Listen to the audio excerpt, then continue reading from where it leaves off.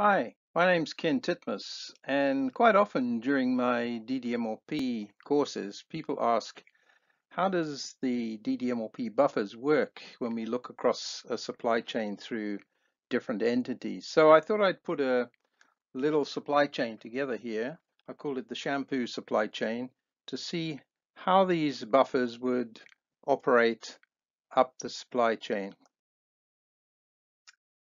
So the objective of this webinar is to look at constructing a demand-driven MRP vertically integrated supply chain for a bottle of shampoo from the customer through the retailer, the retailer's distribution center, the bottle filling contract packer, the plastic bottle manufacturer, and the bottle polymer importer. And then after the initial setup, looking for ways to improve the flow. Here's our customer, Happy Harry. He lives, he lives in Vredenburg up the west coast. He buys his toiletries from a pharmacy chain called Super Pharma in the town. He's very brand loyal and uses the pharmacy chain's own brand of regular shampoo. He's very organized and uses a two bin system to manage his stock of shampoo to ensure he never runs out. So Super Pharma is a countrywide operation with over 250 shops in most major towns, and they're open seven days a week. In the Western Cape, they've got 29 shops which are replenished from a large distribution center in Cape Town. Depending on the area, the stores are replenished by truck between once or twice a week. The Vredenburg store is replenished twice a week on Mondays and Thursdays. Apart from the distribution center in Cape Town, there are other regional distribution centers in Johannesburg, Durban, Port Elizabeth. Super Pharma has their shampoo products contract packed by Conpack in Johannesburg, who delivers directly to four distribution centers. Conpack is situated in Johannesburg and contract packs various toiletry products for a number of companies, including Pharma, Super Pharma's product range. For Super Pharma, they pack a range of three shampoos and two conditioners. All these products use the same plastic bottle with a different print. They buy the printed bottles from PB Manufacturing, who is also in Johannesburg. So PB Manufacturing produce undecorated, standard and printed custom blow molded bottles for various industries, including Conpack for the Super Pharma range of products. The same custom bottle is used for the Super Pharma branded range of three shampoos and the two conditioners, and then printed for the five different products. The standard plastic polymer to mold these bottles is bought from Poly Imports. Poly Imports are agents for various polymers used in the plastics industry. The polymer they import for the Super Pharma bottle is a standard product from China and comes in one ton bulk bags as 25 as well as 25 kilo bags. They warehouse their products in the port of Durban and distribute by road to their customers, including PB Manufacturing in Johannesburg.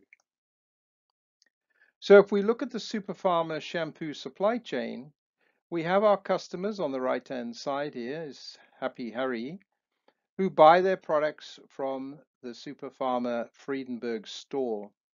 This store is replenished from the Super Pharma Cape Town distribution center, which also distributes products to 28 other Western Cape stores.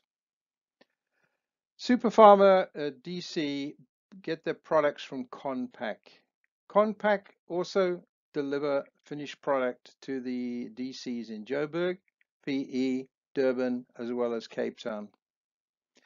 Conpack buys the plastic bottles from PB Manufacturing, and PB Manufacturing buys the polymer for the bottles from Poly Imports. So let's have a look at setting up a demand-driven MRP supply chain for Super Pharma's shampoo. Before we do that, we need to just have a little recap on how we construct a DDMRP buffer. First thing we need to have is a range of buffer profiles. And these are usually broken down into different types of product, purchasing, manufacturing, distributed, intermediate items or mixes maybe. We then generally break them down into short, medium or long lead time categories. And within each of these lead time categories, we would have a variability category, either low, medium or high.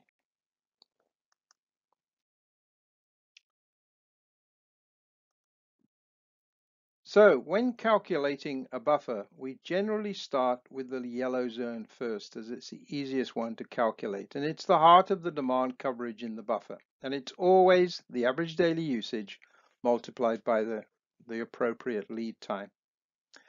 Once we've calculated the yellow zone, we can then calculate the green zone. And we do this in one of three ways. It's either a significant minimum order quantity, or it could be based on a desired or imposed order cycle. In other words, we want to replenish the stock every so many days or weeks, or we want to manufacture it so many days, every so many days or every, uh, so many weeks. Or we want to calculate it using the lead time factor, where we take the size of the yellow zone and we multiply it by the lead time factor. Whichever any one of these three numbers comes out to be the biggest, we will use that as the green zone. The red zone is broken down into two. We have the red zone base and we have the red zone safety. We calculate the red zone base first. And it's the same as taking the yellow zone and multiplying it by the lead time factor. So we've got the lead time factor times the average daily usage times the appropriate lead time. Once we have that number, we can then multiply it by the variability factor to get the red zone safety. And then we add the two numbers together, the red zone base and the red zone safety to get the total red zone. So here's an example part we have here. It's part number one, two, three. Its average daily usage is 20. It has a buffer profile of MML. So it's a manufactured item with a medium lead time and a low variability. And we've given the, uh, the medium uh, lead time a factor of 0.5 and the low variability a factor of 0.25. There is a minimum order quantity of 200 and there is an imposed order cycle of seven days. And the decoupled lead time for this manufactured item is 14 days. So we've got an average daily usage of 20 per day, decoupled lead time of 14 days. We're in a medium lead time category, so we're going to use 50%. We've got a desired order cycle of seven days, a minimum order quantity of 200, a variability category, which is low, and so we're going to use a 0.25 variability factor. So if you remember, we calculate the yellow zone first. This is the heart of the demand coverage in the buffer. And it is always calculated as 100% of the average daily usage times the lead time. So in this particular example, we have an average daily usage of 20 and a lead time of 14. Multiplying those two together, we get a figure of 280. So our yellow zone in this example is 280. Now we come to calculate the green zone. Now we know there's an order cycle of seven days, and if we want to work out what the, the green zone size for an order cycle of seven days, we multiply seven days by the ADU of 20, which gives us a number of 140. Let's calculate the green zone using the lead time factor. So we take the average daily usage and we multiply it by the lead time and then the lead time factor. And in fact, we get the same number of 140. This is purely a coincidence in this particular example. But we know there is a minimum order quantity of 200. So 200 is larger than either of these 140s. So the green zone is going to be, in this example, 200. Now we need to calculate the red zone. Okay, as we said, we do it in two parts. We calculate the red zone base, then we calculate the red zone safety, and then we add the two together to get the red zone size. So the red zone base is going to be the ADU 20 times the lead time 14 times that lead time factor of 0.5. So it's 140. I now take that 140 and I multiply it by the variability factor, which is 0.25, which gives me a number of 35. So if I add 140 and 35 together, I get a red zone of 175. So if we look at the buffer for this part number one, two, three, we've got a red zone of 175, a yellow zone of 280, and a green zone of 200. And in DDMRP speak, we talk about top of. So top of red is 175. Top of yellow is going to be 175 plus 280, which is 455. And then top of green, which is top of yellow plus the 200, giving us 655. So as a quick summary, uh, the yellow zone is then 100% of the lead time times the average daily usage. The green zone can be calculated either with an order cycle, a lead time factor, or a minimum order quantity. The red zone is made up of two parts, the red zone base, which is based on the lead time factor, and the variability factor will affect the red zone safety and we add the two together for the total red zone. Okay, so let's start with the customer, Happy Harry. Harry has determined that a bottle of regular Super Pharma shampoo lasts him between four to five weeks. He goes to the Super Pharma store between once and twice a month to replenish his toiletries and pharmaceuticals. He uses a two-bin system to manage his shampoo. So when one bottle is used up, he starts on the second and puts a shampoo on his shopping list for the next shopping trip. So what about the regular shampoo stock management at Superfarmer's Vredenburg store? The store in Vredenburg has analyzed the sales data for their regular shampoo over the last 90 days and have concluded that they sell, on average, 7.65 bottles per day. They receive deliveries from the Cape Town Distribution Center on Mondays and Thursdays on the DC's milk run up the west coast. The shampoo is packed in cartons of 24 units. So what about the regular shampoo buffer at the store? We know the ADU is 7.65. That's based on the last 90 days of sales. We reckon it's a fairly short lead time, so we're going to use a 0.75 lead time factor. There's also fairly low variability on this particular item, so we're going to use a 0.25 variability factor. The lead time is between three to four days, so in worst case scenario, we're going to use four days for the lead time. And the minimum order quantity for shampoo is 24 as we get 24 bottles in a carton. So the yellow zone is going to be 7.65, that's the ADU, times the lead time of four days, which gives us 30.6 or 31 units.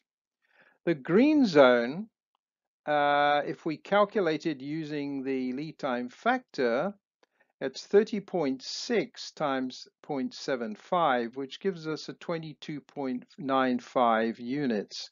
So I think we need to round it up to uh, the MOQ of 24.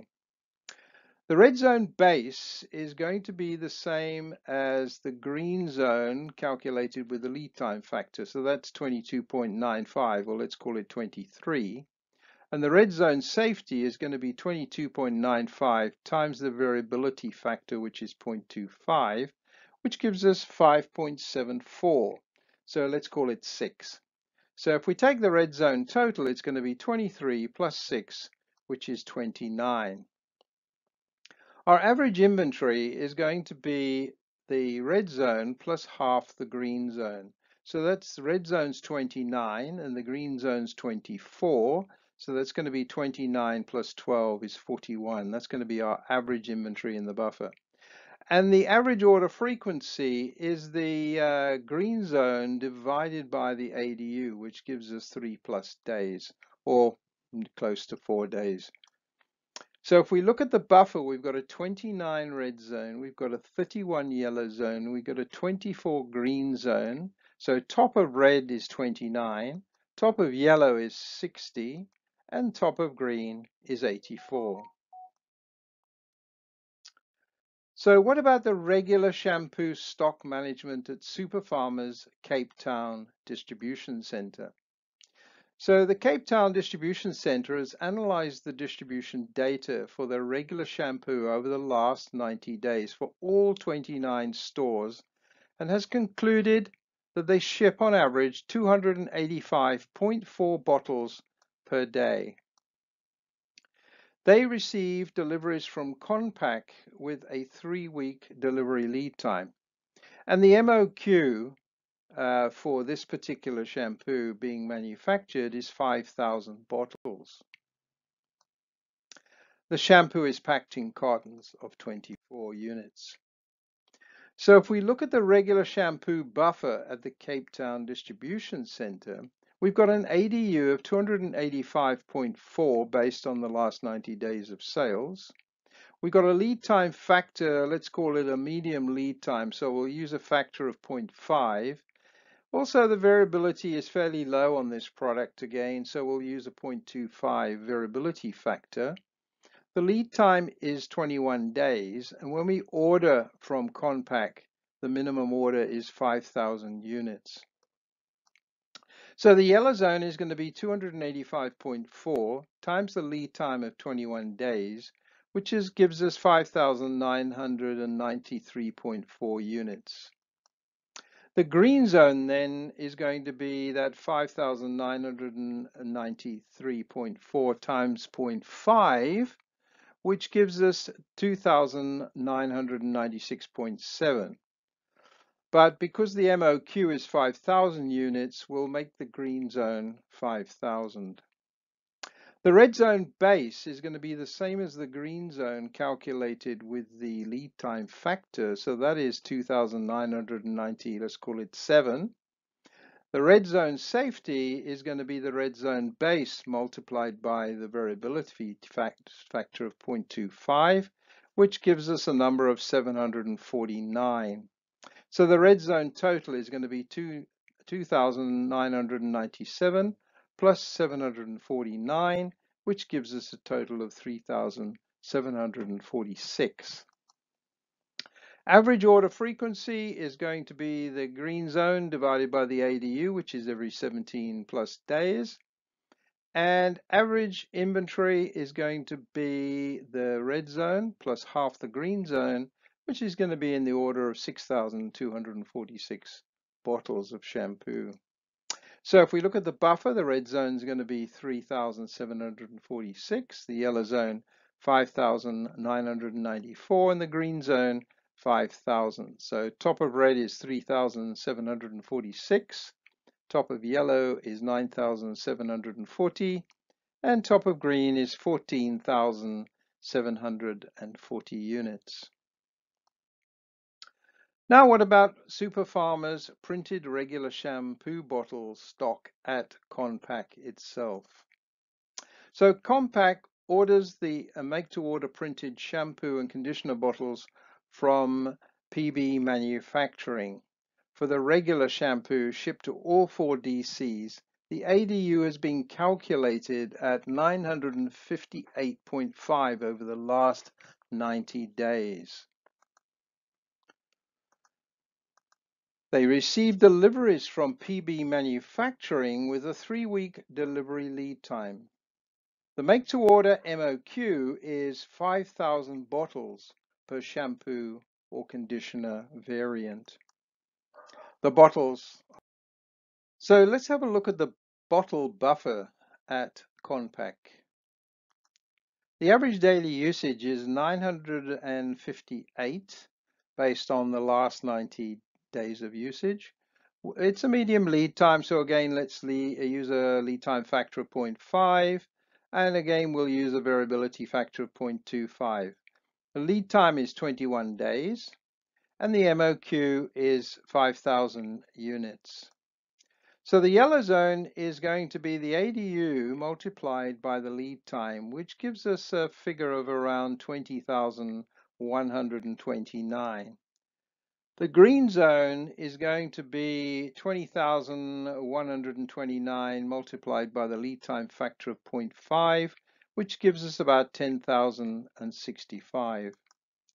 The red zone base is going to be the same as the green zone based on the lead time factor, which is 10,065. And the red zone safety is going to be that 10,065 multiplied by 0.25, which gives us 2,516. So total red zone is going to be 10,065 plus 2,516, giving us 12,581. So the average inventory is going to be the red zone plus half the green zone, which comes out at 17,614. Uh, and the average order frequency is going to be the green zone divided by the average daily usage, which gives us approximately every 10 days. So if we look at the buffer, the red zone is going to be 12,581. The yellow zone is going to be 20,129. The green zone is 10,065. And the top of red is 12,581. Top of yellow is 32,710. And the top of green is going to be 42,775.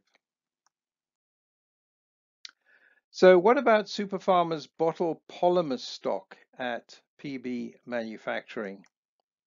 So PB Manufacturing blows and prints bottle bottles on a make-to-order basis for Conpack. They are blowing and printing on average about 5,000 bottles per day. And each bottle weighs about 42 grams. This polymer is only used for the Super Pharma bottles. They receive deliveries of the polymer from Poly Imports in Durban once a week. The MOQ is 1,000 kilos in a bulk bag. So let's have a look at the polymer buffer at PB manufacturing. We know the average daily usage is, we said, 5,000 bottles times 42 grams, which is about 210 kilos per day, based on the last 90 days usage. Uh, fairly long lead time, so we'll give it a 0.75 lead time factor. And again, variability is fairly low, so we'll use it 0.25 again.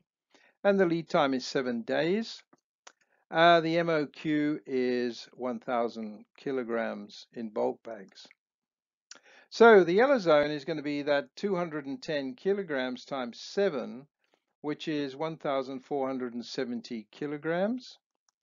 The green zone is going to be 1,470 multiplied by the lead time factor of 0.75, which gives us 1,102.5. So let's call it uh, the MOQ of 1,000. The red zone base is that 1103 and the red zone safety is going to be the 1103 times the variability factor, giving us a number of 276 kilos. So if we add those two together, we get a red zone total of 1379 kilos. The average inventory is going to be the green zone, sorry, the red zone uh, plus half the green zone. So it's 1379 plus 500 gives us 1879. The average frequency of ordering is going to be that 1000 divided by the ADU of 210, which gives us plus or minus every five days. So when I look at the buffer for the polymer at BP manufacturing, we've got a red zone of 1379, we've got a yellow zone of 1470, and a green zone of 1000. So top of red is 1379, top of yellow is 2849, and the top of green is 3849. What about the polymer stock at Polymer Imports? Polymer Imports buys the polymer the, from the Far East in 20 ton containers. They have a few customers that take this grade of polymer. On, on average, they sell 2.3 tons per day.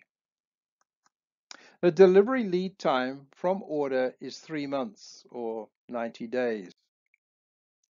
So the polymer buffer at polymer imports is going to be an average daily usage of 2.3 tons. The lead time factor, it's a very long lead time, so we're going to use a lead time factor of 0.25. And there's quite a bit of variability on the lead time and the usage of this polymer. So we're going to call the variability factor 0.75 in this case. The lead time is 90 days and the MOQ is a 20 ton container. So the yellow zone is going to be 2.3 times the lead time of 90, which is 207. The green zone is going to be 207 times 0.25, which is about 52 tons. So let's make that 60 tons, which will make up three containers. And then the red zone base is going to be that 51 or 52 tons multiply that by the safety uh, factor of variability factor of 0.75 and we get about 39 tons. So the total red zone is going to be 52 plus 39 tons giving us 91 tons. So average inventory is going to be the red zone 91 plus half the green zone giving us a total of 121 tons average inventory. An average order frequency is going to be the 60 tons green zone divided by the average daily usage of 2.3, which says we'll be reordering this on average every 26 days. So if we look at the um, buffer for the polymer imports, the red zone is going to be 91 tons, the, the yellow zone is going to be 207 tons, and the green zone is going to be 60 tons. So top of red is 91, top of yellow is 298, and the top of green is going to be 358. So looking at the Super Pharma supply chain, we have hundreds of customers buying from the Super Pharma Vredenburg store. We've got a shampoo buffer there and there's a four day lead time uh, to get replenishment from the Super Pharma distribution center okay? And that takes 21 days to get get their product from Conpack Conpack take 21 days to get their bottles from PB manufacturing and PB manufacturing takes seven days to get their polymer from poly imports so if we look at the total local cumulative lead time, it adds up to 53 days.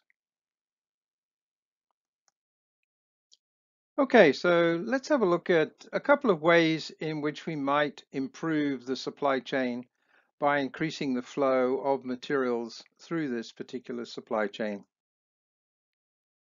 So the current local cumulative lead time we said was 53 days. So how can we increase the flow and reduce this lead time?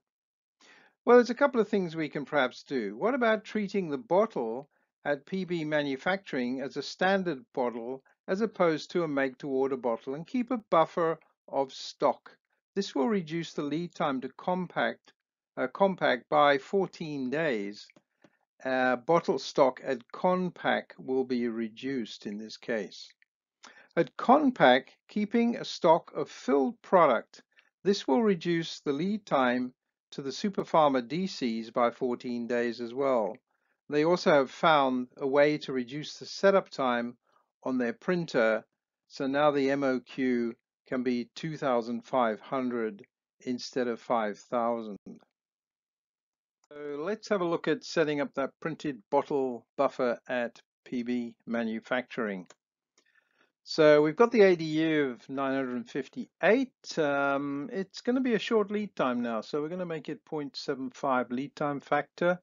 And also we'll keep the variability low at 0.25, but the lead time is going to be seven days and the MOQ, we've managed to get down to two and a half uh, thousand units.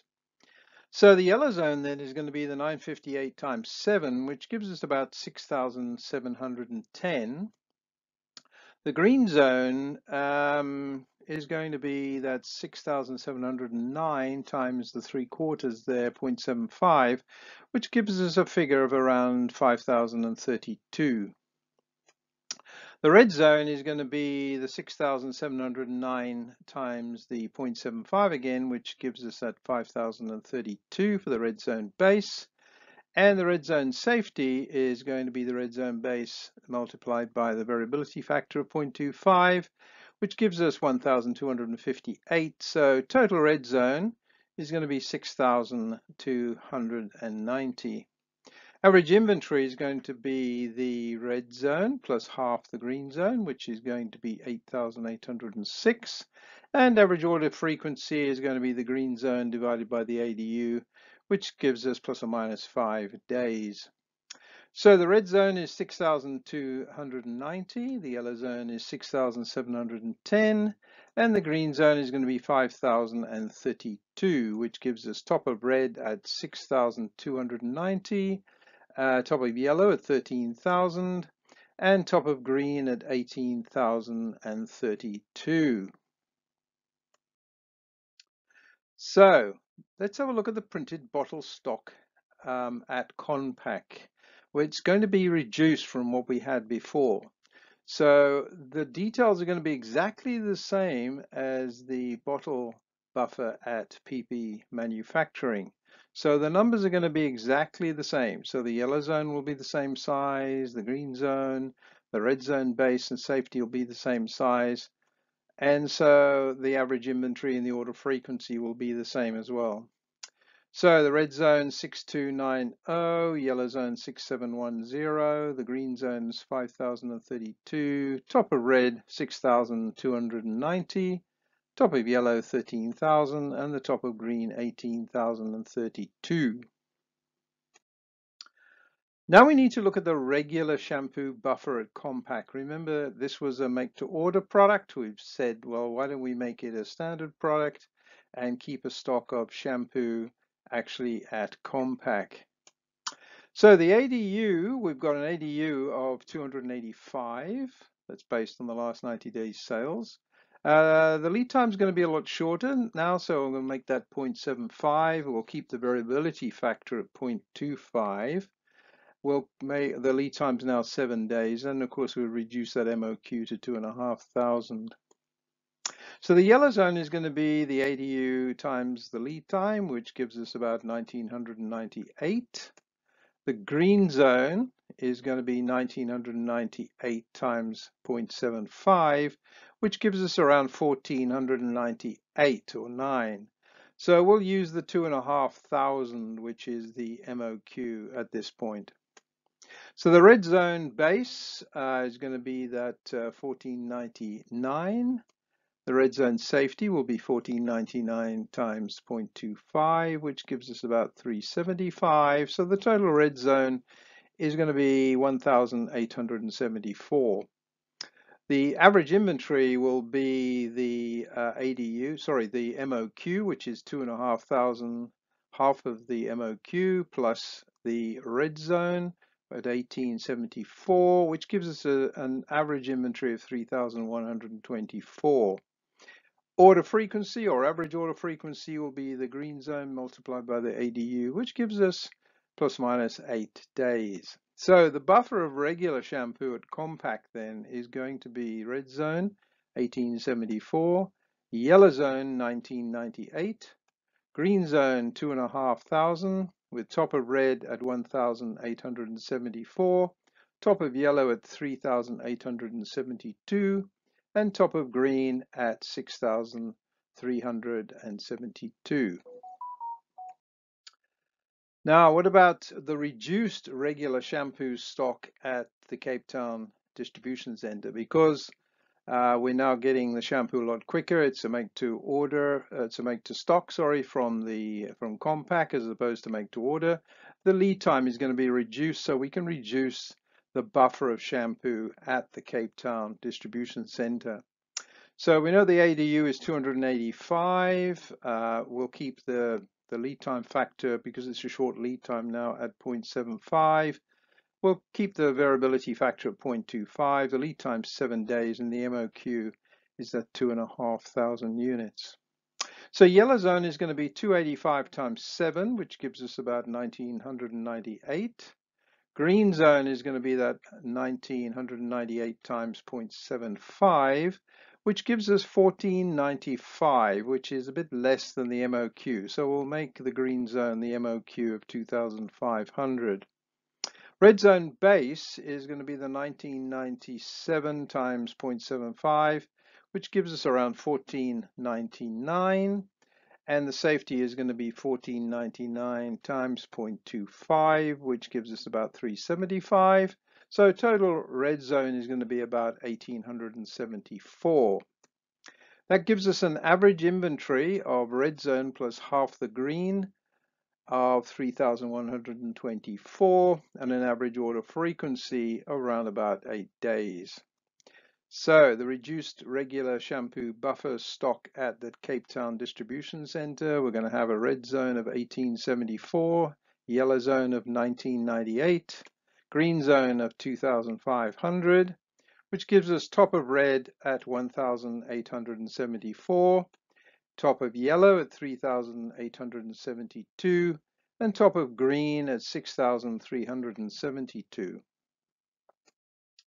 So if we look at the improved supply chain now, we've got stock of shampoo sitting at Super Pharma's Vredenburg store, which is being supplied from Super Pharma's Western Cape distribution center, where there is a stock of shampoo we now have a stock of packed shampoo sitting at Conpack, as well as printed bottles stock at Conpack. Uh, in addition, at uh, PB Manufacturing, we don't only have a stock of or a buffer of polymer, but we've also set up a buffer for the printed bottles. So we now look at the total cumulative lead time has been reduced to 39 days. So what a summary of the improvements. By halving the batch size from 5,000 to 2,500, we've gained a better flow. And by stocking printing bottles at PB manufacturing, we've reduced the lead time to Conpack by seven uh, down to seven days. And by stocking finished product at Conpack, we reduced the lead time to the distribution centers down to seven days as well. So total reduction in lead time is from 53 days down to 39 days. So we've reduced the whole supply chain by 27% in lead time. We've also got a reduction of finished product average inventory at the Cape Town distribution center. We average inventory was 6,246 uh, sorry, yeah, and it's now gone down to 3,124. So that's a 50% reduction in that uh, uh, stock sitting at the Cape Town DC. But we've also reduced the bottle stock at Conpack as well from 17,614 average inventory down to about 8,806, which again is another 50% reduction in inventory. If you want to learn more and see how this might work for your supply chains, then I suggest you contact the Demand Driven Institute at demanddriveninstitute.com. You'll find a lot of information on this particular website about the DDMRP methodology, lots of papers, lots of videos, uh, lots of case studies. And in addition, if you want to know more, you can contact us at Demand Driven Africa at demanddriven.co.za or you can contact me, Ken Titmuss, at plus 27 83 700 4354 or on ktitmus at mweb.co.za.